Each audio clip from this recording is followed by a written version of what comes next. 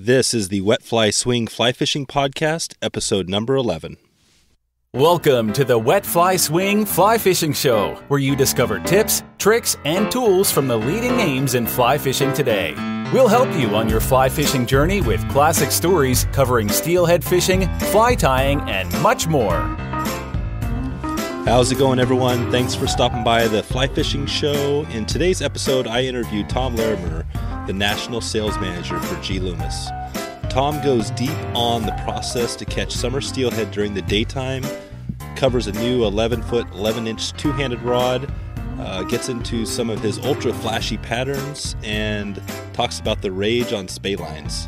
Lots of big time content in this one, including some hilarious fishing stories and some links to a number of great resources that will help you get into more fish.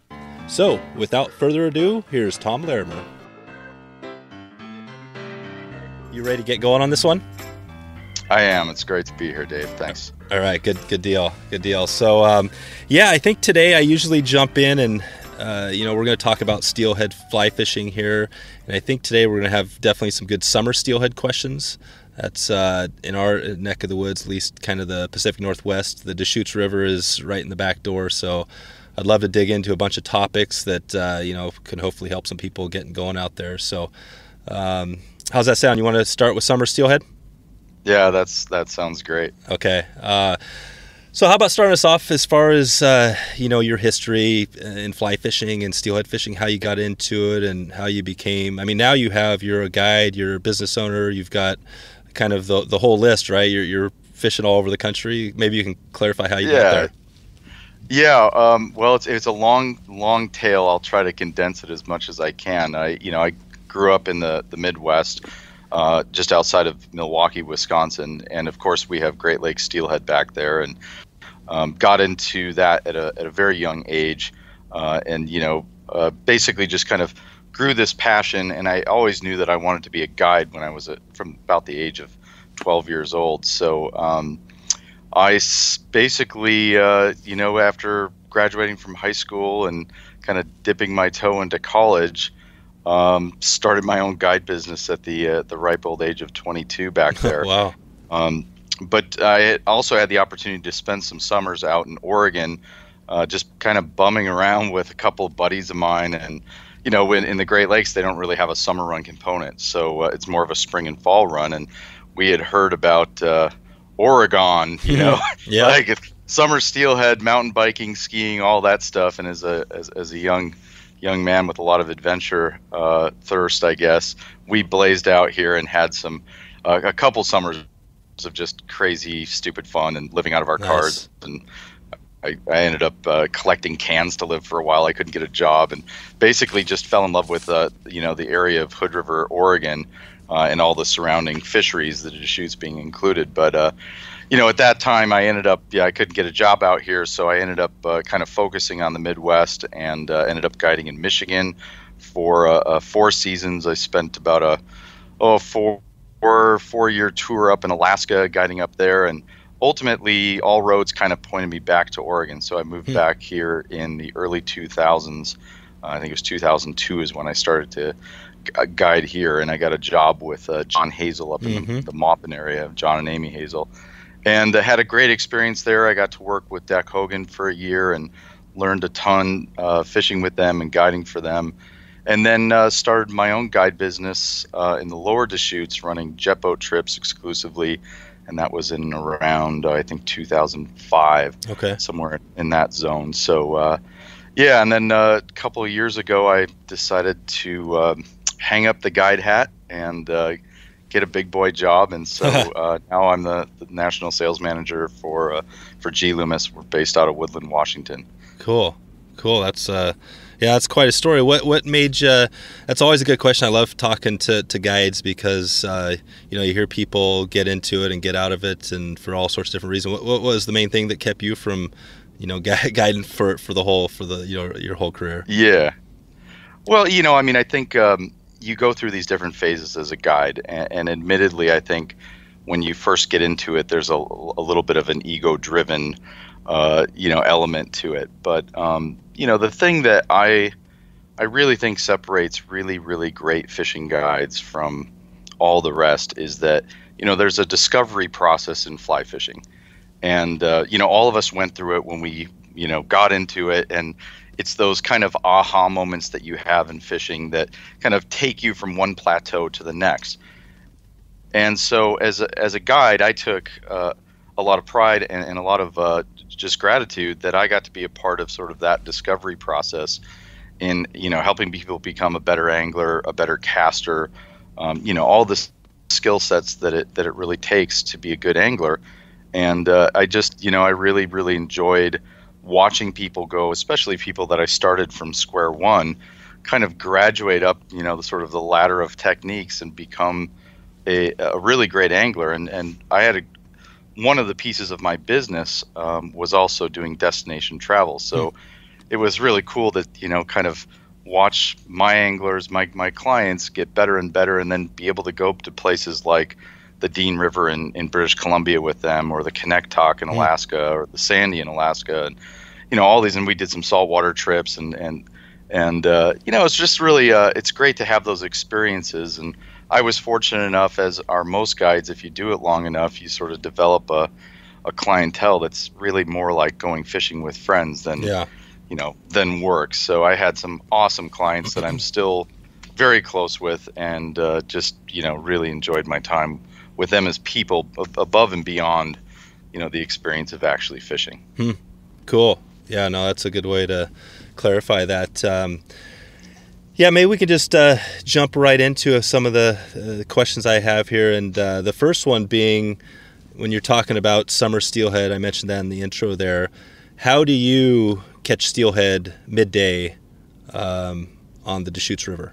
What maybe you can maybe you can run through your whole uh, your whole process because uh, I, I love yeah. I love uh, anybody that knows me knows that um, you know I'm coming from kind of a, a, an older school background where it's like you know fish morning, fish late, kick back, drink some beers, maybe trout fish, you know, enjoy sure. enjoy the sunshine. But really never got serious about kind of that that midday fishing. So I'd love to hear you explain, you know, how you do it and how you get into fish.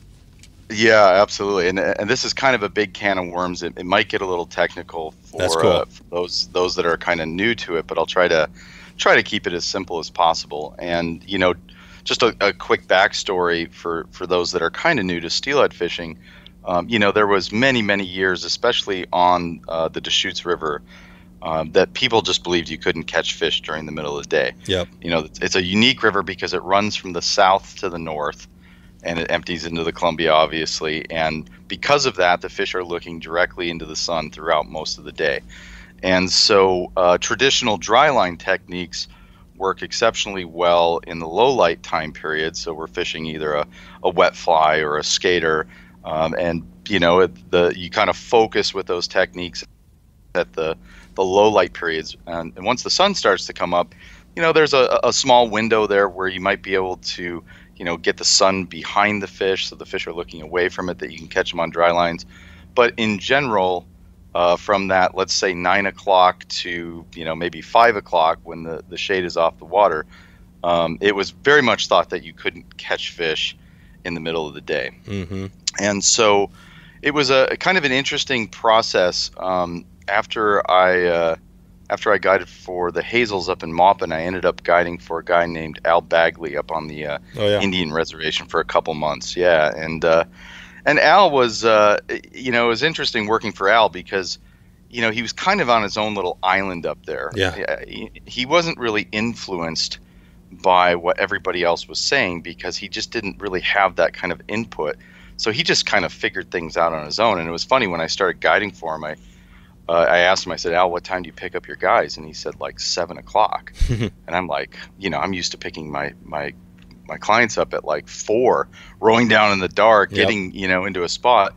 And uh, I said, well, what time do you drop them off in the afternoon? It's like four o'clock. And I'm going, well, when do you take a nap?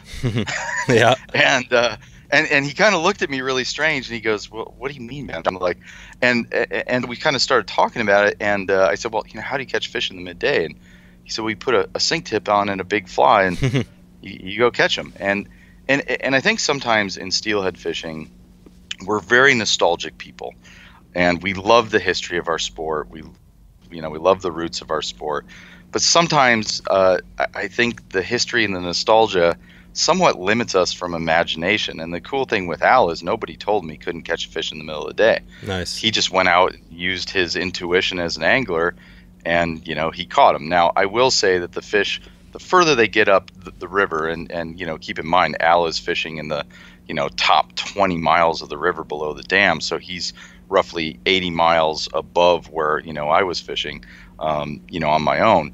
They act a little different. They're very trouty up there, so they tend to eat uh, very natural stuff, kind of blacks and browns and olive leech type, mm-hmm. you know, mm-hmm. type stuff. And you have very unpressured fish because it's on the reservation where you have to be with a reservation guide to catch them. So a little bit different scenario, but it was interesting when I moved down to the lower river.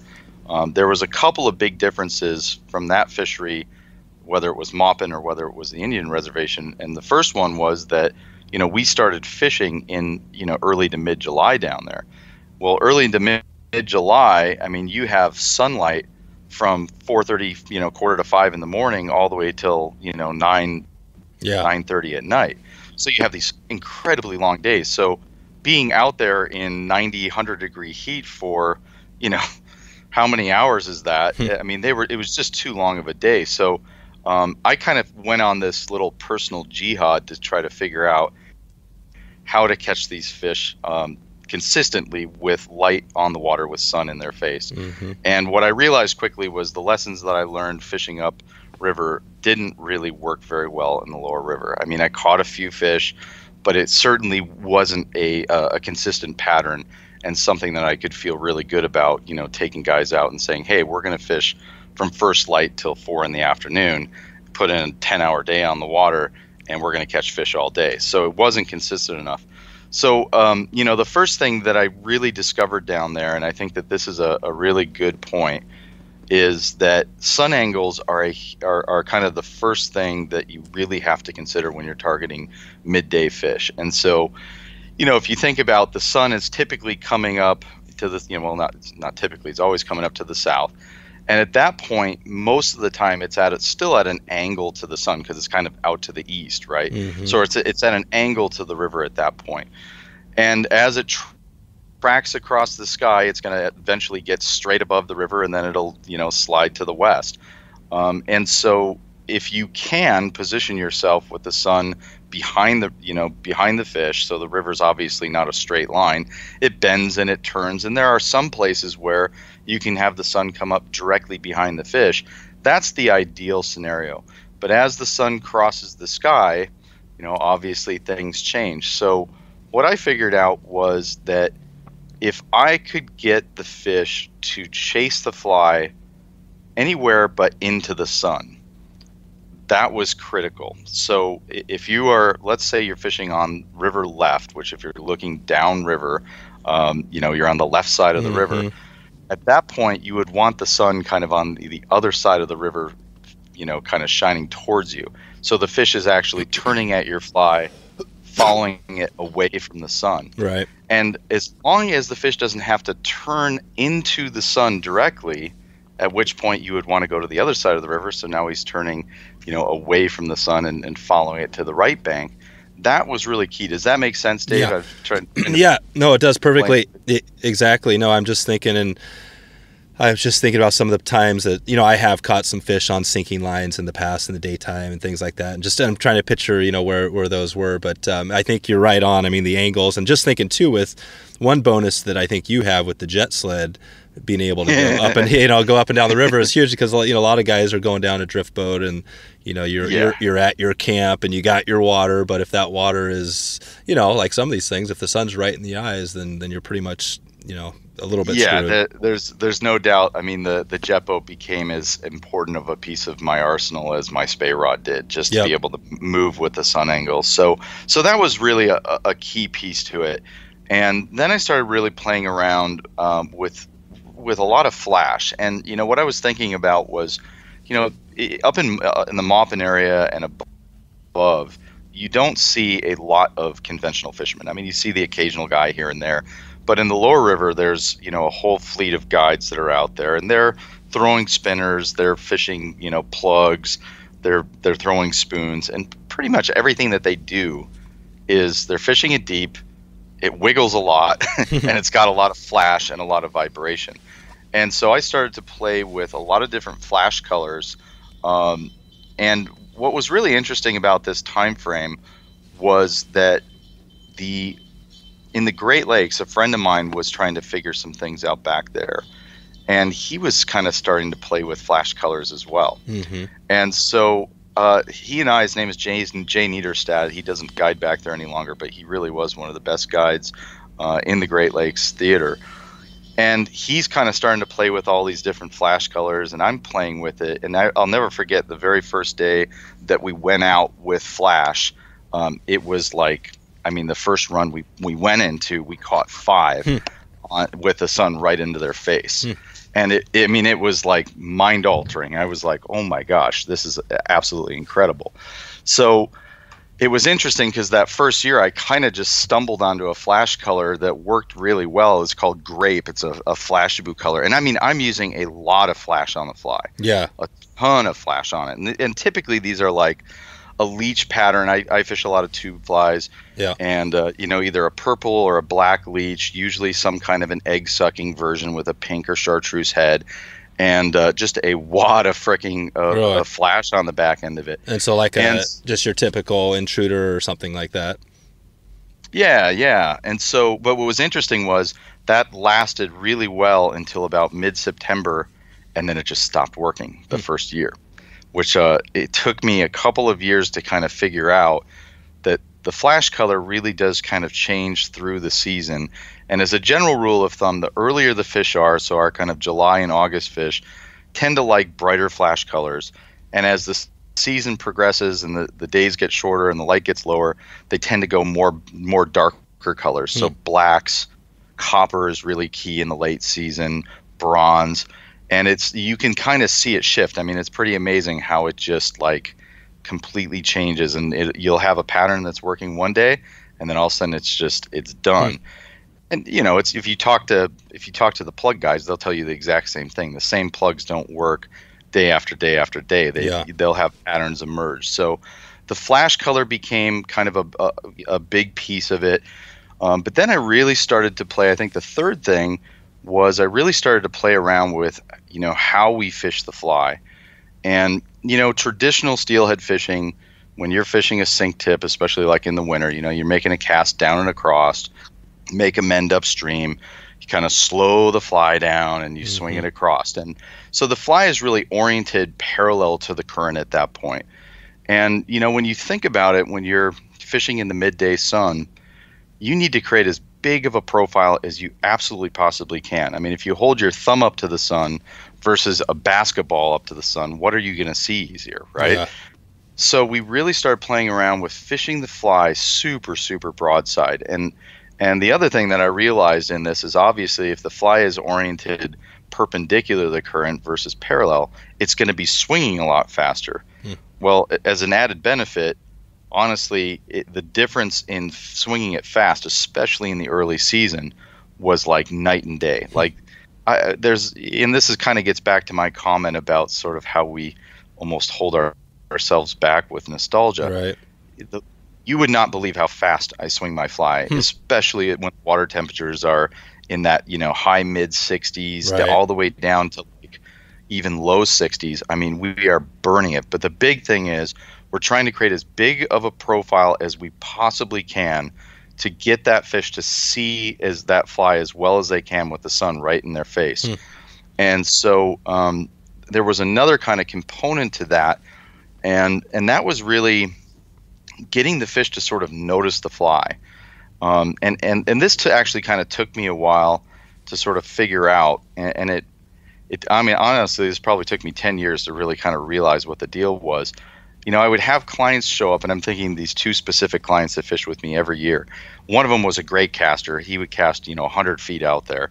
And the other guy was like, you know, he just didn't put as much effort into it. And he was a good, he was a good caster, but you know, he's probably casting 60 feet. Right. Well, consistently, the guy casting 60 feet was out fishing the guy casting 100, Nice. even though technically he's a way, way better caster and, and arguably a better fisherman. I think he fished his fly cleaner and all that stuff. Hmm.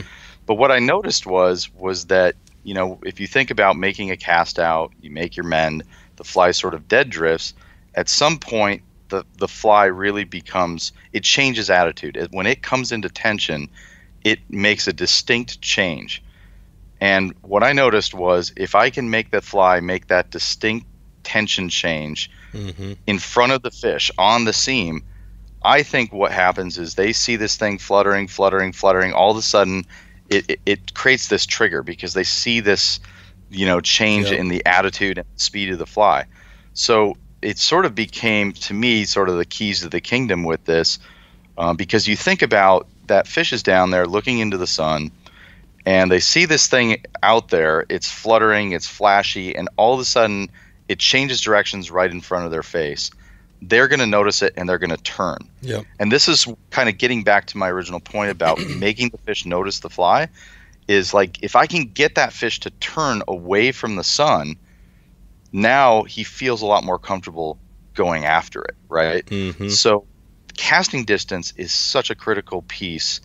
Um, and I swear to God, it's really funny because, you know, anglers, we spend a lot of money on really, really expensive rods fly lines, all that stuff. We go out on lessons and like I mean, you know, we, we want to jack. Everybody wants to jack a ton of line, right? and I'd always have clients come every year, you know, and they were they've been practicing, man. And they yep. strip out a bunch of line and they jack that thing 100 feet out there. I go, dude, that is awesome. You smoked that. Now reel in 50 feet because the fish is sitting right there. Yeah, that's cool. I mean, I think the best day that I ever had on the Deschutes was with it was with four anglers um, and uh, and it was kind of a specific situation because there was a lot of kings around, so the fish were kind of in tight little close buckets to the shore. But uh, we, we landed like I, I don't remember how we landed, but I think we hooked 42 in a morning. Wow. With four anglers. And the key to that morning, I said to the guys, look, if you're wading over the top of your boots, you're too deep. And if you're shooting more than 10 feet of shooting line, so you're making maybe a 50 foot cast, uh, you're casting too far. And yeah the fish were just i mean i and the deschutes is kind of in its own little world in that sense that i do think a lot of people overfish the runs but yep. the, the the lesson to be learned the takeaway is you know if you can read water and you can go okay that's where i think the fish is try to make your cast just far enough past it that you mend the fly it dead drifts and it's going to come tight in their world so they see that direction change and so that's a that's a big yeah. thing. And then if I can get that fly to kind of track across in sort of a broadside profile, um, that's really key.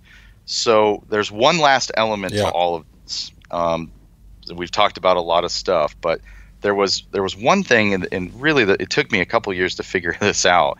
Um, there were what I noticed was that there were certain runs that I did really really well out of in the midday. I mean, you know, we're going in at 11 o'clock in the morning, sun is right down in the fish's face and we're jacking three fish behind, you know, guys that had just fished it with dry lines mm-hmm. that morning. And maybe they got one, maybe they didn't. But uh, we're having, I mean, phenomenal success in the midday. But it, there was these runs that like just didn't kick out fish, and then runs that did. And it took me forever to kind of figure this out. And uh, you know, I was thinking about okay, what are the common denominators? Is it speed? Is it you know bounce? Is it structure? Is it seam? You know what what is it about these runs that they fish and these runs that they don't? And actually, I was taking a leak one day and I was looking at these big alders, and I realized every single run that we did really well out of in the midday had a big line of alders. Hmm. And and I think the the key to this is, you know, the the fish are seeing a reflection of what's above them. And if you think about the the Deschutes Canyon, most of it is sagebrush and cheatgrass. Yep. It's that really kind of bright yellow, and I think that you know the runs where you've got these alder lines that are you know 20 30 40 feet tall when they turn and start to chase the fly down they just feel a lot more comfortable chasing that fly into the contrast. I call it the green screen. Mm-hmm. And so they just feel a lot more comfortable versus the runs where, you know, they start following the fly and they're kind of looking into this bright reflection and they really just, you know, they, I just don't think they feel as comfortable hunting the fly.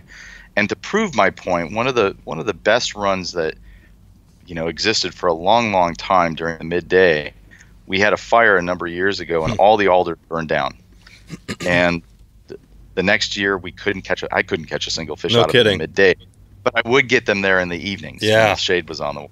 So I do think that that that is really helpful. And if you if you think about rivers like the North Umpqua, for example, where you've got a, a, a canyon with a lot of Right. you know hemlocks and spruce and you know th- those fish are definitely i think a little more comfortable Mm. but our fish i do think that that's a, a key piece to it so Hmm. you know it's really about you know the fly that you fish having the right color of flash. It's about the attitude of, uh, of the fly and how you fish it. It's about capturing that fish's attention with you know kind of the the time that that fly comes into into tension. And it's about being at the right place at the right time with sun angles and finding those runs with those big alders. So it's kind of a long answer, Yeah, but that's, that's really great- kind of where, where my head goes to when I'm I'm really fishing those midday fish. Yeah, no, that's great, man. That's like summer steelhead, like uh, whatever level, man. That's upper upper level stuff. That's good. I love well, that. you know, it's interesting, Dave, is I do I do a lot of saltwater fishing as well, and uh, you know, I've I've actually had a lot of conversations with tarpon guides because I tarpon is one of the things I'm completely addicted to. hmm and it's and it's interesting because you have kind of a similar situation. I mean, you've got a fish that's sort of on a mission for migration, right? If you're fishing down in the Florida Keys, you're going to see you know hundreds and hundreds of tarpon going by you, and they are sort of in this program mode to get to where they need to go. And steelhead are kind of the same way. Um, they will feed from time to time, but in general, they're they're booking. Hmm. And so it's kind of like you're trying to unlock that fish. And you know, with tarpon, you get to see the whole thing unfold. But I, I sort of imagine that it's it's a very similar type of disruption of their sort of like I need to go here. You've got to make that fish notice the fly. You've Yeah. got to get him to break out of that mindset of where he's going to Yeah. to really the fish. So It's pretty cool because I th- I'm just thinking back everything you talked about, and um, I guess I had just one clarification on. I guess it was kind of the, the number three part of it. I guess you were kind of talking about more leading the fly. Was is that? Yeah. Yeah, just basically just leading. The, yeah, so typical, which which makes Yeah. total sense. I mean, I'll expand on that just a little bit. You know, I think about you know if you make your cast out, your you know your first decision that you have to make is your casting angle, and the further you cast downstream, kind of across the current, if you will, the slower that fly is going to swing. hmm But it's almost impossible to get the fly into a broadside position. The more you know across the current you cast, or sort of 90 degrees to the bank you're on, obviously the fly is going to swing a lot faster, but it allows you to really kind of get that fly into more of a broadside position. Yep. So you, you know, once you've made your casting, you know, once you've made your cast, your next decision is your mend.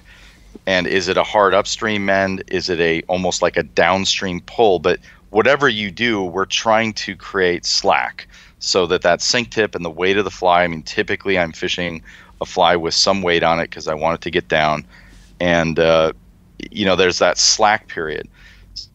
So uh, once I bring the fly into tension, I usually have my anglers kind of lift their rod, and really the attitude of the rod is what's going to set the belly. So, in other words, if I lift out over the water with my rod, I'm going to set the belly kind of into the current, and I'm naturally going to create a slower swing. If I lift downstream or kind of the inside, now I'm going to set it in a super broadside swing. So Mm. that kind of I call it the point of contact. When you've made your mend, it's dead drifting. I'm now going to lift and get that tension on the fly and get it fishing.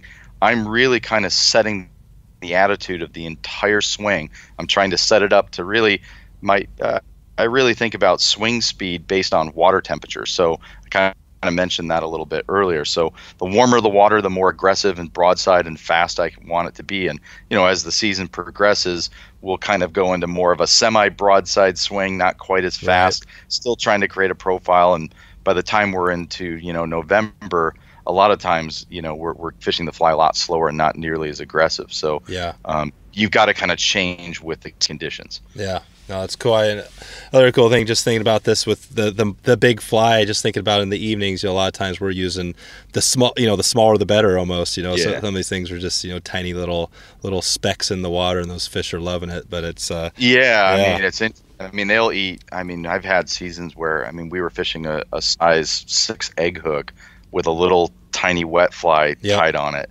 exactly. And I mean, it's they, they can. I've had them. I've watched them eat blood knots. Ugh. You know, when I'm up on on a high bank and I'm watching the fly swing, and fish comes up and grabs the freaking blood no knot. on the kidding. That's You cool. gotta be kidding me. so they see a lot. nice, nice. No, this is awesome, man. We're, well, I guess we're about halfway through the uh, the show here. Trying to try to keep it to around an hour, and I, I we might have to have you back on later to answer some of these other questions if we can't get through it. But no, uh, That was a big question to lead with. it was. You know what? I always like to I like to throw out the biggest thing uh, that's out there. I think that is uh, one, and you did a good job clarifying that. So um, you mentioned uh, kind of off there when we talked about. I think it was the 11 foot 11 inch and the Skagit short. A new. Yeah. Is that something you could talk about or? Yeah, absolutely. So, um, you know, one of my first projects with G Loomis was um, helping to develop a, a series called the IMX Pro. And there's a whole single hand series that's kind of built around modern trout fishing techniques. And then there's a two handed series. And what we what we really wanted to do that with this series was to kind of address the the modern era of shooting head style lines, and specifically lines like uh, the the Skagit Scout, the Skagit Switch, and the Rage Compact, which are all Airflo lines that I've actually developed with uh, with Tim Rajeff and his Mm. team at Rajeff Sports. Um, and so, you know, we we really gave a lot of thought to you know kind of the the overall length. You know, switch rods are are, are fun and they're light, but they they just in most cases, I just am always asking myself for something a little bit longer. And, you know, there's certainly a place for a, a 13, 13 foot three rod, whatever, um, especially sink tip fishing that, that works well. But that 11 11 length was kind of magical um, just because it's light like a switch rod in your hand, but it doesn't feel so like with switch rods, I just feel like you've got to be right on your timing. You got to be pretty Mm. aggressive. You really have to kind of jam on them to make them really work. Mm. This has more of a true spey taper, so it's got a fairly powerful tip section, very positive, and it has some nice flex through the mid, so you don't feel like you're super rushed through it. They're really easy, really fun to cast, but just kind of that perfect length that you've got enough control to, you know, fish those 60, 70, 80 foot casts. Yeah. It's still light in your hand, and you can just jam on it all Is it day. kind of a um, so would you say it's kind of a, a medium or slower action type rod? Is No, I would put it in, a, in kind of a medium medium, fast. yeah, So medium when I fast. Okay, The, the butt section and mid section are, you know, I, I wouldn't call them moderate, but yeah, you know, it does have that kind of a true spey taper to it, not a not a switch taper that's really stiff through the mid and a little softer up high. So they're really fun, man. I mean, i i you jam on them and yeah. put it put, put one of those Skagit Scouts or a, a Rage on them, and my gosh, man, it's just uh, they're addictive.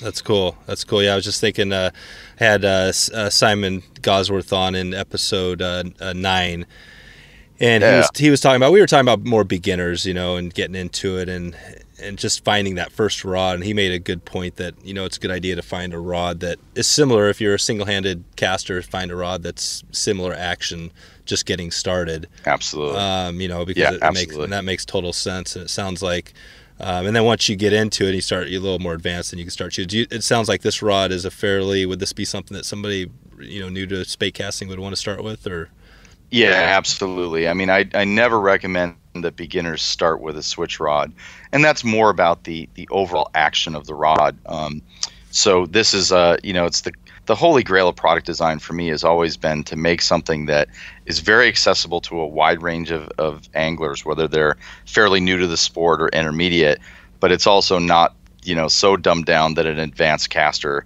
wouldn't really enjoy fishing it. So I think we kind of nailed it on this one. mm-hmm. Um, so yeah, I mean, I would certainly put it in the hands of uh, uh, really of uh, of just about any level uh, of caster out there. nice, nice, cool. Uh, you- you mentioned uh, previously uh, some names of people that have uh, you've worked with and sounds like influenced you over the years. Anybody else as far as mentors you you want to note here that we haven't talked about? well, you know, man, I mean, there's so many uh, there's so many great people in our industry um, that are you know you kind of develop sort of a, a, a circle of friends, um, and and some of those people that I sort of consider in my my inner tribe are um, uh, you know they're they're people that aren't even in the industry. Um, I have a, a really close friend of mine named Jason Kirchie, who is, in my opinion, the best steelhead angler I've ever met, Hmm. and nobody knows who he is. Mm-hmm. Um, but he's just kind of one of those you know guys who critters around in the woods and puts his time in and puts his head down and and Yeah. uh, I, I would say uh, you know of anybody, Jason is one of those guys who's really kind of influenced my thinking, and it's you know and, and there's a handful of other uh, of others out there, but you know what I love about that is you know having you know having people like Jason. My uh, I still do have some ownership in my my guide business. Um, Todd Harris is a, a good friend of mine who Mhm. kind of bought my business and you know he's one of those guys that's kind of in the tribe with me. And um, you know having those guys and just being able to bounce information off of it and whether it's flies or whether it's techniques um, you know it's it's just really cool to have great anglers Yeah. like that. Um, yeah i would say that those two guys were were huge. And i mean there's a long list of, of other people. So um, you know I, uh, Yeah. in the great lakes i learned a ton from my mentor back there was ray schmidt. I worked for him uh, and some, some of the guides that I, I worked with brian pitzer and uh, jay niederstadt uh, just you know awesome guys so Mhm.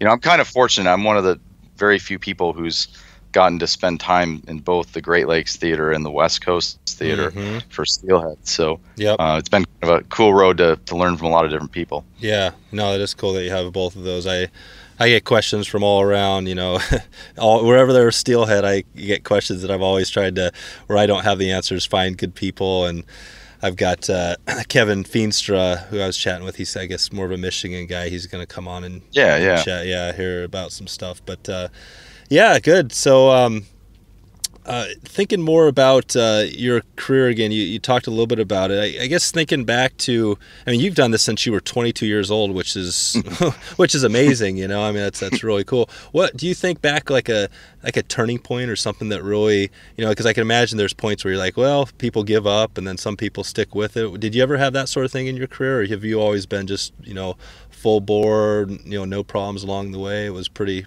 pretty easy going. Oh yeah, man. I mean, I think uh, I think anybody who spends enough time rowing boats and jumping in and out of them and guiding, you know, there's there's definitely those um, those moments when you're like, what what have I done? But uh, you know, I think for me, probably one of the bigger moments was that um, when I started my own business, I was I was on my own for the first couple years, and then I I added uh, a, a number of guides. At one point, I had like three or four guys working for me, and and, and uh, honestly, I got to a point with it where I was uh, I was completely burnt out. Now at that time, I had started SteelheadBum.com Hmm. uh, with uh, my good friend Travis Duddles from the Gorge Fly Shop.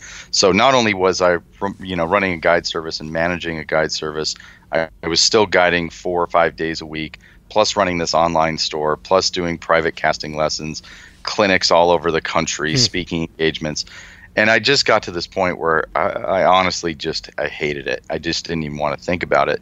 And so towards kind of the end of my career, about the last four or five years there, I just sort of went back to just being myself and and uh, you know st- stopped having a bunch of employees and just focused on on you know just me. Yeah. And it was I, for me. I think it was really cool because I think the last really the last like four years of my guide career were the best and uh, it, and I was really close to just going, you know, is this really where I want to be? And the last four years were just awesome. You know, I, I think I I made some changes in my business. I went to exclusively camp trips on the Deschutes during the fall, and, and that really was a game changer. And um, you know, just really enjoyed the the end of it. And you know, and truthfully, when I retired, I you know, I mean, I I was not like burnt out on it. Um, I knew I was kind of looking for something something different down the road. But um, you know, the opportunity with G Loomis came, and uh, and it was the right fit for me. But you know, I, I wasn't one of those guides who, you know, at the end was just so burnt out that I just didn't even want to be on the water anymore. So Yeah. I guess if there was a turning point, um, it was just it was kind of that that Yeah. kind of defining moment for me. Nice, nice. Um, so you're we're talking a lot about the Deschutes here. Do you have now a, a a home river, or do you consider the Deschutes your home river? Do you have something that uh, you know another area, or do you? I mean, you fish for winter steelhead too, quite a bit, right? Yeah, yeah. I mean, you know, I fished all the rivers up here in northern Oregon. I mean, when I was guiding, I did the Clackamas, the Sandy, uh, the Klickitat in southern Washington, and the Deschutes. Um, I still consider the Deschutes to be kind of my, you know, my my Yep. home. Um, you know, the, the thing about the Deschutes that I, I think separates it from every river that I fished, and and it's the it's really the diversity in the water. You know, if you like to fish these really long, beautiful classic runs, you got a riffle, nice long gut, big tail Mhm. out. You know, go tromp down one of these things for 200 yards and just get into your groove Right. that exists. But there's also these just tons of little one person, five, ten cast spots. Some of them are so obscure you would hmm. never think a steelhead lives there. And it takes years and years and years of just putting a fly through that water at different water levels and trying to understand it. And and then there's you know everything kind of in between there. So you've got you know I mean you got water that that anybody could wade. I mean, I, I guided a guy one time that was 90 years old, Hmm. Nine, actually 91, Nice. and uh, and he jacked three steelhead that day, and he was just so stoked. And Wow. you know, I, I just fished classic little riffle water, and he had a 10 foot seven weight, and you know, single Yep. hand rod, and he tried to get him to spey cast. And then there's you know the opposite end of the spectrum where. You know, I love I loved it when I would get young bucks in my boat that could wade anything because Sure. I'd take them into some crazy stuff. So, um, you know, and then you you take that and add the just the sheer number of steelhead that return to the Deschutes. I mean, the you know not only the Deschutes population of, of summer steelhead, which is a very cool special fish, but you get all the stray fish component that Yeah. come into you know the lower you know really the the strays are primarily from washout rapids which is about eight miles up Mhm. down. They do go above that but in mass that lower eight miles. And so i think for me the the thing that i loved about it the most is it became kind of a laboratory for me. I'm a i'm a very kind of scientific you know minded angler i guess. I i really try to look for patterns. And so from a fly tying standpoint you know you you could tie some crazy stuff and you'd know really quickly i mean i'm eh, the deschutes is a very bucket oriented river so Mhm. I mean, it's almost like, okay, Dave, you're in the spot. Get ready, oh, Yep. and he eats it, right? Oh yeah. So, you know, you can you can really play around with different colors and different, you know, different everything. I mean, and, and the num the I would say the the number of weird flies that I fish now is more so than classic flies, especially in the midday game. Yeah. Uh, you know, in, in the low light time periods, I still kind of, I tend to go back to the old classics, hair wings, you know, Sure. butt skunks, purple green butts, that kind of stuff. Um, but the midday stuff is is where you can really get creative. Not that you can't with with Yeah. uh, the Yeah. dry line stuff. I mean, I I've I've got a couple of skaters that look like Legos out there that Nice. People just are like really and and the fish eat them so that's why i think that lower river is so special you can Yep. really catch a lot of different ways and uh, there's just so much different water to fish and a lot of fish to fish too so Totally. So uh, you mentioned a jet sled. Uh, so if you had, uh, you got your uh, jet sled, your raft, or a drift boat, which one do you choose? You can only have one. jet, jet sled it is jet sled. Okay.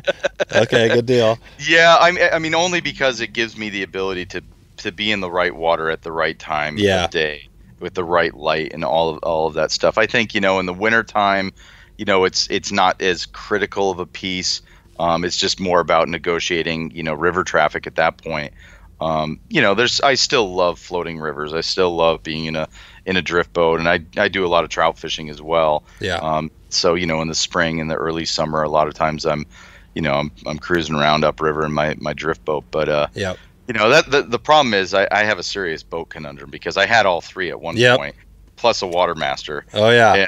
Uh, I sold I, when I when I got out of guiding, I sold my my uh, raft, which Yep. I've I've regretted I know. because there's places I want to go. So you really almost have to have three. yeah, it's it's true. I'm the same thing. I although the the water master or was that was that the uh, what you said there? Yeah, yeah. Yeah, that's the one. Yeah, that would be. I have. I don't have one of those, but yeah, I had a. My first kid, got rid of got rid of the raft to pay for that whole thing, and uh, yeah. so that was it. Was like drift boat or raft. I was like, oh, I'll keep the drift boat. And but uh, no, Yeah. that's good. That's good stuff. Um, as far as the Deschutes River, you know, again, somebody's new to it. Um, you want to give them one resource. Is there something out there that you would direct? I'm not even sure if there's like an online resource or, you know, what, what would you tell somebody if you just said go here and get your information? Yeah, I mean, you know, I think fly shops are the are the best place to go. Yeah. Um, you know, I think the Gorge Fly Shop in Hood River um, is is you know kind of near the mouth. Um, you know, John John and Amy Hazel up in Maupin, they're they're on the river a ton. They're really good. Mhm. Um, you know, Fin and Fire in Madras um, is is a killer shop. And then just in the in the Portland area, I mean, Northwest Fly Fishing Outfitters Yep. and Royal Treatment. Um, you know, those guys are super in tune. They have you know people out guiding that you know they're kind of in touch. So you know, number one is like support your, your local shops Yep, for sure. and um, they're they're definitely the best resource that's that's kind of out there. Um, on a, on a little higher note, my website Larimer Outfitters is still up, hmm um, and there's a ton of articles on steelhead fishing and swinging flies for trout on little two handers and bunch of this you know bunch of the stuff that I learned. I, I wrote a lot of blog posts and stuff. Um, Yep. it's, it's somewhat dated, but um, we left it up just because so many people do come to that site and use it as a resource. Um, so it's just Yeah. kind of out there now, even though I'm, you know, I'm not guiding. It does have information to hmm get in touch with Todd Harris, my business partner. But uh, yeah, I would say though, you know, Okay. fly shops are Yeah, are are definitely the best place to to really start. totally. Yeah, it's interesting. It's kind of you saw a, definitely a lot of shops going down over the last number of years, and some big ones. Um, you Yeah. know, Kaufmann's and things like that. But there's Yeah. also, I heard, I guess there's some. Uh, I heard there's another store coming up in Portland, so it sounds like yeah, there's Portland still. Fly Shop. yeah. So, so that's a good. That's a good thing. Yeah. Well, Um, it's a cha- it's definitely a changing uh, landscape. Yeah. Of you know, as people buy more and more online. know. Um, you know, and, and, and, you know, we all do it, but at the same Yep. time, if we don't support those small shops, uh, they're going to end up going away, and we're going to lose that resource. So Exactly. important. Exactly. I think I heard this last uh, was it holiday season or whatever, like a hundred billion dollars online or some something crazy.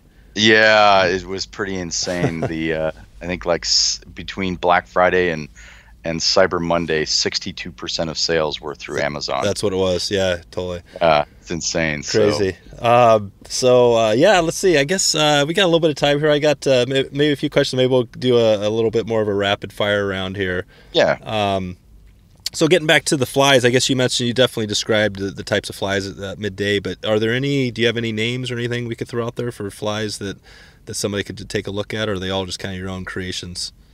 Well, a lot of them, yeah, a lot of a lot of stuff in my box is not necessarily available commercially. There, there is a few. So I have a pattern called the loop leech that's through Solitude Flies. Um, that's that's a pretty good one. Um, Scott Howell has a, a really cool intruder pattern um, that I think fishes really well. Um, trying to think, uh, you know, Aquaflies has done a great job. They they offer a lot of tubes and Okay. stuff like that. There's not a lot of not a lot of people fishing a lot of the flash that I did. Mm-hmm. Um, so, Hmm. so if you're a fly tire, you, you kind of have a little bit of an advantage there. But, um, Yep. you know, there are there are some patterns out there that that will work really really well. Um, but you know, I have a pattern called a, a reverse marabou that's super easy to tie, and Uh huh. and and even though that fly isn't available commercially right now, there's a lot of patterns that are fairly similar uh, that will work really well. Yeah, cool. Um, as far as I mean, you already threw out a bunch of great tips and things like that, but just for steelhead in general, uh, you know, summer or winter, do you have any steelhead tips? Maybe a tip or two that you would give somebody? Uh, Yeah, absolutely. Um, you know, I think the the biggest thing is the best anglers that I know are the best at observing the conditions around them. And a, a lot of times we go out there with sort of assumptions. People, I, I think, need to really think about what are the given conditions of the day, and you got to think about you know what's the water temperature, what's the trend of the water temperature, what's what's the you know environmental conditions, the the weather, what's the um, you know the river traffic? Has it been Mm. really you know beaten down? All of those things. And and try to make a game plan based on the given conditions. If you just go out there and do the same thing over and over again and this kind of reminds me of a funny story. This Hmm. guy who used to come into the shop in Maupin when I worked out there um, he was a great guy he would only go to one of two runs either wind knot or pipeline and if you fish in the Maupin area you probably know those runs uh huh. uh, and they're great runs. There's no doubt about it. But this guy would get up at like three in the morning, race down there, Yep. camp out for three, you know, three hours until the light came up. One day I said, I said, Jimmy, why, why don't you fish other water? Why do you just fish those, those two runs? And he said, Well, I, I only catch fish in those runs. I don't catch fish other places. So that was a great answer. Yeah. But I, I went fishing with him one night and I realized, you know, he makes the same exact cast. He makes the exact same mend. He does everything the same. Right. And he doesn't ever change his presentation. Well, well, it just happened to work in those two runs. Um, and so being versatile and thinking about, you know, water temperature for me is like the most important thing. I'm trying to match the speed of my fly and oftentimes the depth of my fly, especially in sink tip fishing, really to what the water temperature is. And so, you know, again, the warmer it is, the more aggressive and faster you can swing it. The colder it is, the slower and usually the deeper you need to go. And mm-hmm. so, just not getting caught in, in a box one way. And I think also like not being afraid to experiment. And uh, you know, sometimes I think we, uh, as as anglers, it's like you, you, know we're so scared to try something new because it might not work. Well, right. how many times do what was supposed to be done that didn't work? And, and so that's kind of that discovery process of you know just sort of figuring things some things out, and it's amazing what you learn when when you're not stuck in a box. Yeah, no, it's a great point for sure. I was just, uh, yeah, I mean, you're out there to you know fish of a thousand casts or whatever. You might as well change it up and, and not do do the same cast a thousand times. You know, try right. Yeah, exactly. Mix up exactly. as you go. Um, on uh, leaders, what what is your typical uh, leader for, uh, say, summer steelhead look like?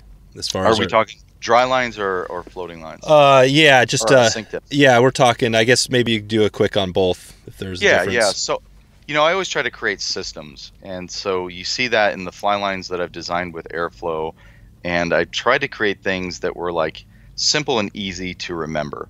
And so, off of a Rage Compact, which is the line that I fish for for dry lines, is just sort of an aggressive Scandi taper. Mm-hmm. Um, I fish a, a 10 foot intermediate poly leader.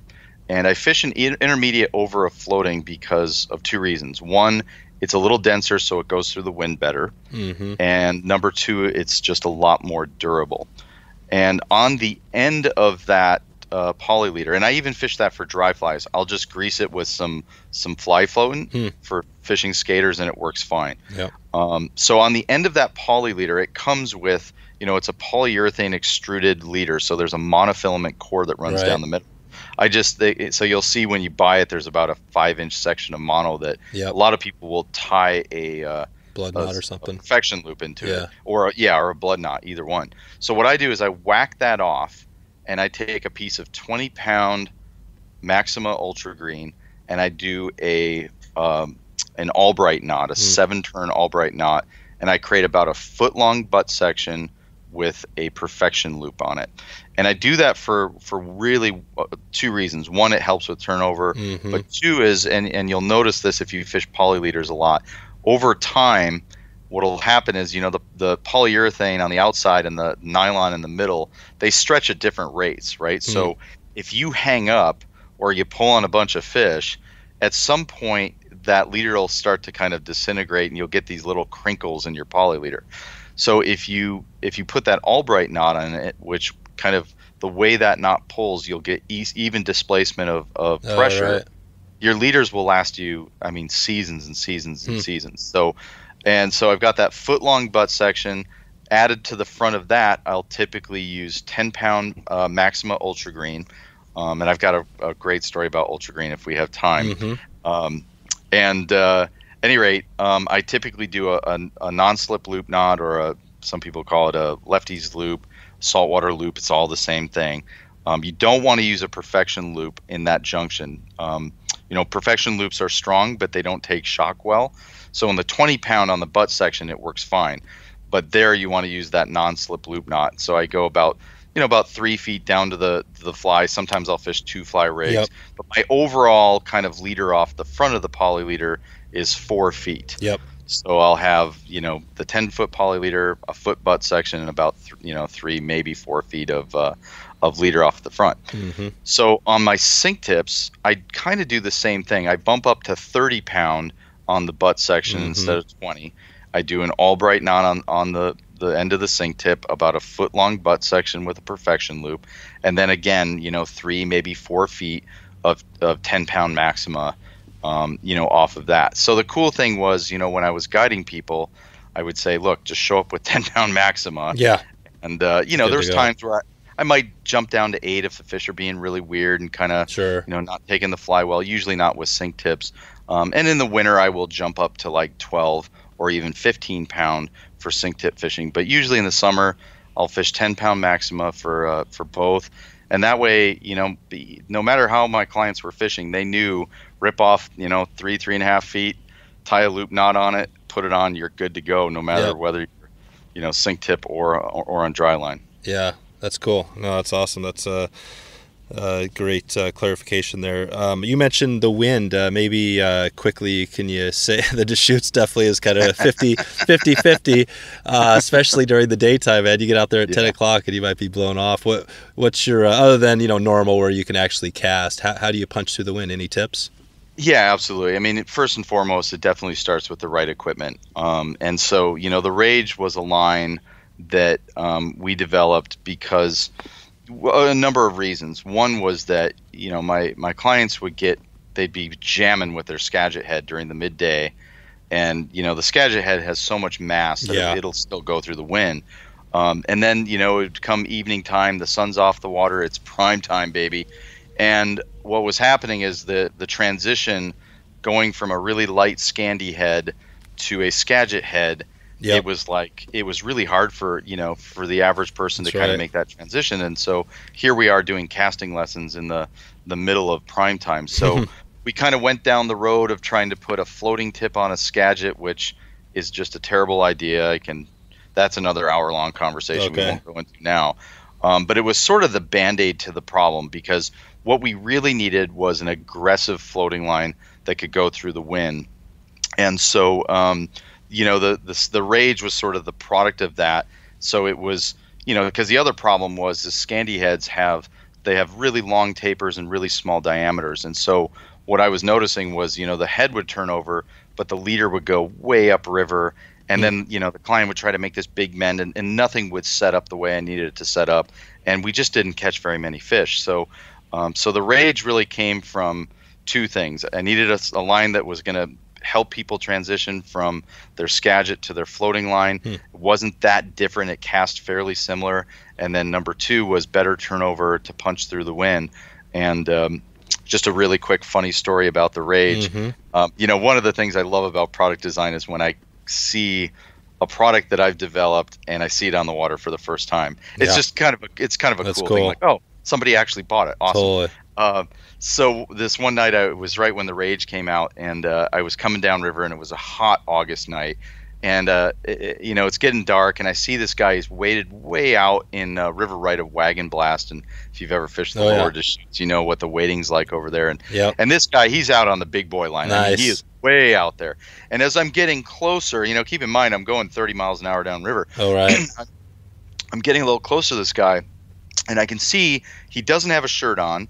He's got a baseball hat and he's got a pair of earphones on. Huh. And as I'm getting closer, I can see he's like he's out there, like he's really jamming, like he's almost dancing. right? Nice. And uh, and then as I get really close to him, I realize that the only thing he is wearing is a black speedo. No way.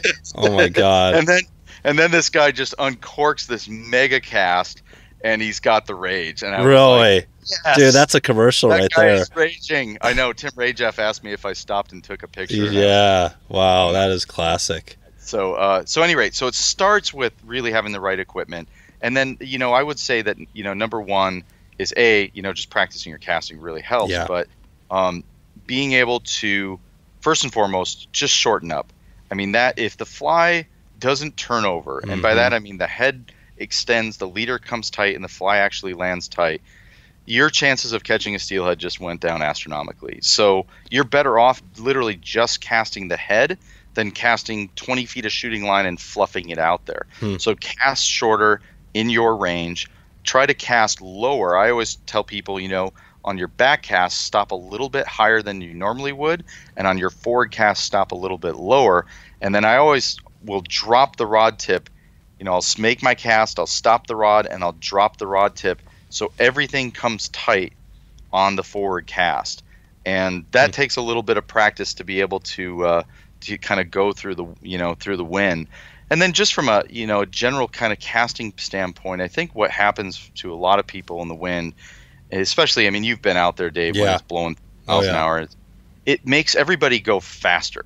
And what I always tell people is, you know, the wind is is going to help your D loop. Your D loop is like a big sail. So if normally you make if you had a magic sensor on your hands, if there's no wind, you usually use about 40% behind you into your D loop and 60% on your forward cast. So I always tell people, look, the harder the wind blows, and this is kind of the same for casting in tight fishing Hmm. uh, situations. Come around with less speed in your back cast. So if you Mhm. normally cast 40, 60, come around 30, 70, Hmm. 20, 80. So the harder the wind blows, the less the less energy you really need to kind of make in your backcast and the more energy you can make in the forecast. And that would help people. Usually, when you t- tell people to slow down, it, it leads to all these bad problems. It's one of my biggest pet peeves as a casting instructor is when I hear people say, "Oh, you just need to slow down." Right. Um, it's slowing down at the right time. So that would be kind of where I would start with people, and you know, and th- there's some little other tricks that that we do to kind of get the fly to turn over. But Yeah. in general, those are those are a couple things. Just don't don't rush your back cast. Take your time on your back cast. That is the the beginning of making a good cast in the wind. Perfect. Perfect. Um, and did you mention you had another uh, story, or was the speedo? Was that the one you wanted to get out there? Oh no, the speedo was a different story. Oh, cool. Um, so people ask me, you know, what tippet do you fish? And uh, a number of years ago, uh, this is I think it may have been the first year I was guiding down there, maybe the second. Um, the the longest clients that I've guided, uh, these two great guys. One's from uh, Seattle. Well, they were both from Seattle. One of them moved down to uh, to California, and I just love these guys. They're they're awesome guys. And we were fishing up in the the Kloan area, which is just about eight miles up from the mouth, and um, you know it's kind of getting towards the end of the night. And uh, I always have these little markers. You know, as the sun goes down, I go, okay, when the sun gets to that little cliff up there, I know I've got about you know 30 minutes before it's dark and I've Mhm. got to I got to go. and so, you know, it's the the lights getting up to that little spot, so I went down and I I got Cal was this guy's fishing down below and you know, kind of all right, man, great day. And we caught some fish that day. It was a good day and you know, let's head for the barn and we're walking up and his partner Jim uh, I saw him hook this steelhead. And I knew from even a hundred plus yards away. Actually, I was probably a little further than that. Um, I could tell it was a really big fish, Hmm. um, just because I saw it come out of the water and went, "Wow, that's." It was noticeably big. Yeah. And so by the time we get up there, uh, and Jim is a very, very experienced angler. I mean, he's caught many fish with me, many fish on his own with other guides. He is freaked out. I mean, he's visually freaked out. And all he could say is, big fish, no grab. Big fish, no grab. And I'm like, dude, you have to like take a breath, settle down. Right. And apparently, there was never really a grab. This just giant steelhead came rocketing out of the water, and he came tight to it in the air Oh wow. and um, Yeah. and I could tell by the way just the rod was like throbbing, and this was a it was a 12 and a half foot six weight. I could tell this was a really really big steelhead, and Jim knows how to fight fish, but I'm I'm watching this fight go down, and I'm kind of coaching him now, and we're I mean we're putting the screws to this fish. And at one point, I mean, I'm looking up, and there's no sun left on on the, the rim of the canyon. Right. And I'm going. I, I, I remember saying to Jim, I said, "Look, man, you either land this thing in the next two minutes, or we have to break it off, or we're going to be walking out of here tonight." Right. And uh, and, and we finally like we get this thing. I, I'll I'll never forget this, Dave. This fish came up. And it looked like the side of my like 65 quart cooler. Huh. I mean, it's, it was massive, and I freaked out, and Jim freaked out. We both started freaking out again. Okay, settle down.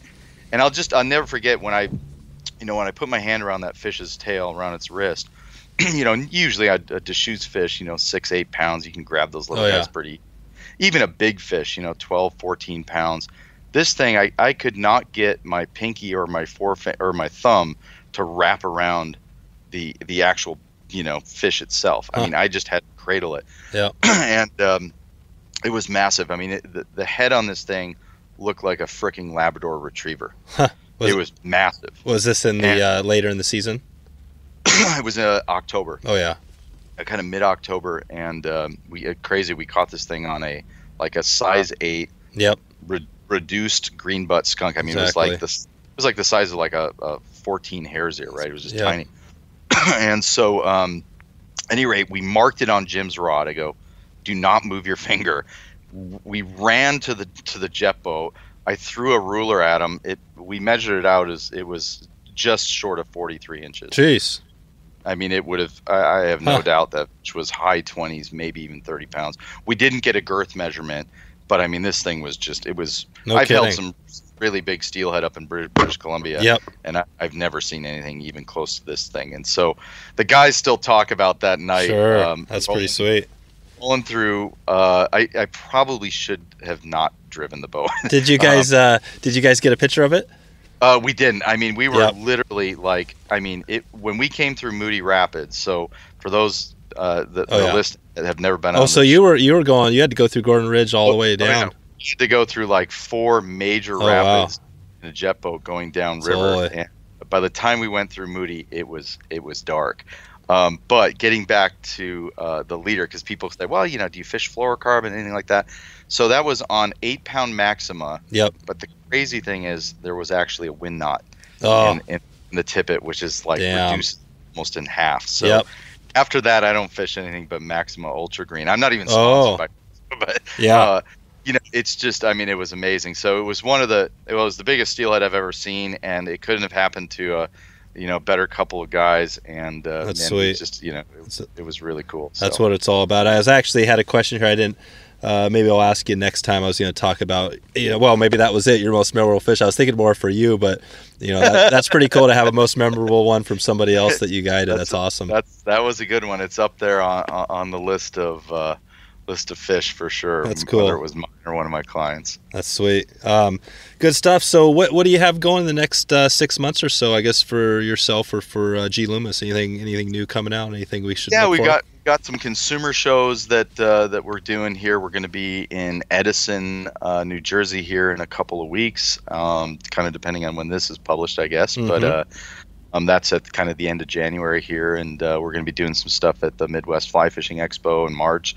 Um, we don't uh, we, we don't we don't really talk about new products at this point, Mhm. but um, you know we're really right. kind of I mean IMX Pro really kind of dropped in uh, this November of last year, so it's actually still kind of on the forefront of new products for us. So yeah. uh, we're going to be doing a lot of uh, consumer events through our dealers. So um, you know, especially in the Portland area, oftentimes I'm at those. So if anybody's uh, Nice. cruising around there, definitely swing by and say hi. And uh, we'll be, uh, you know, probably doing some spey claves and stuff uh, Mhm. up in here, you know, here in Portland as well as uh, there's one up in Alaska now. So Yep. yeah, we just got a lot of events coming up. We'll be promoting the new rods and uh, trying to sneak in a little fishing in the meantime. Perfect, perfect. Uh, so I guess yeah. Did I? Uh, we talked a lot about summer steelhead and things. Anything else you want to add as far as uh, that we missed today? we we covered. Uh, I think we covered the uh, my first uh, second question on uh, you know midday. You, you covered that well. Yeah, yeah. I mean, it's a lot to talk about. You know, sometimes a, a good campfire and a glass of whiskey is uh, Yeah. You know, you can get talking about a lot of stuff. But uh, yeah, I mean, I think if there's a takeaway, uh, you know, for the listeners is that you know, respect the history, respect the nostalgia of our sport, and Yep. it's great stuff. But you know, just don't be afraid to uh, to try different things, and, and don't be afraid to fail because sometimes, and this is something that I always kind of preach to my clients. Just because you didn't get an answer or or a response from the fish doesn't mean you didn't get an answer, right? Right. Like, you know, sometimes not catching a fish leads you down a road of figuring something out. Um, and, and it's okay. It's okay not to catch fish all Mhm. all the time. So, and I know that's tough. You know, if you if you get, I'm I'm kind of a weekend warrior now. It's kind of funny because Oh, yeah. you know, past, but now I just get to fish on my on my weekends. But, um, you know, at the, at the same time though, man, I think uh, you know if everybody's swinging green butt skunks, doing it the same way, Yep. sometimes just doing things a little bit different, a little bit out of the box, makes a huge difference. And it, you know, and it makes it fun. And I think, you know, lastly, what I'll say is that, you know, we talked a lot about kind of like positioning the fly and Mhm. swinging your fly. You know, I think the the thing that my clients always said to me was that, you know, they're it, it- oftentimes like they just feel like they're just hucking and hoping. And the Yeah. the the thing for people to realize is that you know there's this varying degree of aggressiveness in steelhead and it doesn't matter if it's summer or winter but um, you know when they're really happy which is like 2% of the time maybe they will do anything i mean they you could throw a piece of dog crap on a rope out Yep. there and they'll eat um, but the you know that varying degree of aggressiveness um, all the little details that we kind of talked about and swinging your fly in the midday to me that's the difference between the guys who you know sometimes get them and the guys that usually get them Yeah. and so kind of you know the thing that my clients always commented after they fished with me was that they actually felt like they were kind of being a part of the animal's decision making process. And so um, just stay away from that kind of huck and hope attitude. There's a lot more to it. It's it's really about swimming your fly and all those things we kind of talked about with uh, you know understanding the environment and the conditions that that's you have in front of you and trying to match those things and you know just uh, don't don't get stuck one way of fishing. Yeah. No, it's a great, great way to finish it up there. Uh, great, Tom. Well, uh, where's uh, do you have a good place that people can get a hold of you if they have any questions? You know, I, I really don't now nowadays that I don't have uh, I, d- I Yeah. don't have a guide service, so I don't, I don't have a public uh, you know public website. Um, but I do encourage people to go check out the Larimer Outfitters website, Okay. and uh, and then oftentimes um, you know Todd Harris, my business That's right. partner, uh, you know he and I are are super tight. We guide very similar. I mean, we we met each other in Alaska 20 years ago. And uh, you know we've learned a lot together, and he has a very similar guiding style to me, and Mhm. uh, so a lot of times you know he'd be a uh, you know a good resource to kind of get a hold of especially uh, if somebody's looking to get out on the on the Deschutes he does the the Sandy and Clackamas and, and the North Coast as well so um, he'd be a, a good guy to reach out to if you want to go fishing in the local area Yeah, perfect, great. Well, uh, yeah, I want to say thanks again for coming on and uh, you know sharing all this wisdom. Definitely, you uh, you did a great job. I appreciate all the the knowledge. I think a lot of people that probably, you know, both people that have fished a long time for summers and are, and are new to it are going to get a lot of uh, a lot of information out of this. So I appreciate that.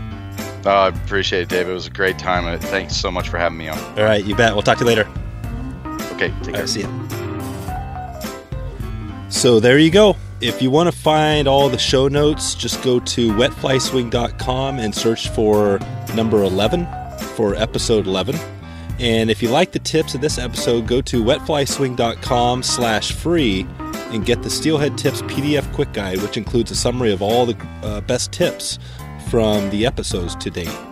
Thanks again for stopping by to check out the show today. I'm looking forward to catching up with you soon and hopefully seeing you on the river. Thanks for listening to the Wet Fly Swing Fly Fishing Show. For notes and links from this episode, visit wetflyswing.com. And if you found this episode helpful, please subscribe and leave a review on iTunes.